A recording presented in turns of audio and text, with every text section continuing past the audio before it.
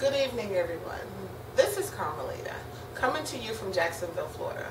I'm coming to you to tell you about Iaso tea, which is a detoxing tea. It has a lot of benefits to it. One is losing weight. Two, getting off some of the meds that you could be on, like me. I was searching for a product and I found a phenomenal product.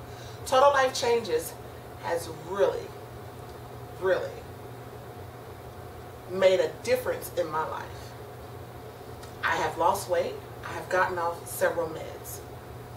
You can find this tea if you're looking to detox and lose weight at www.totallifechanges.com forward slash love is me.